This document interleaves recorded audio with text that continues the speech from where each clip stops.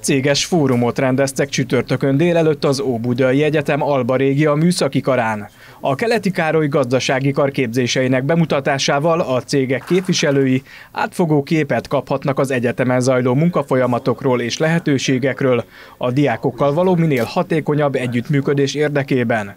Garai Fodor Mónika dékán örömét fejezte ki, hogy már Székesfehérváron is elérhetőek a gazdasági képzések, valamint hangsúlyozta, hogy a gazdasági kar hallgatói számára elérhető duális képzési lehetőségeket Székesfehérváron valósítják meg először. Mi mindig nagy hangsúlyt fektetünk arra, hogy gyakorlatorientált képzést nyújtsunk, mint műszaki, mint gazdasági területen a hozzánk érkező hallgatók számára. Ebben pedig kiemelt szerepet játszanak azok a cégek, azok az ipari kapcsolatok, amelyek építésére és bővítésére törekszünk. Alapvetően ez a mai nap is erről fog szólni.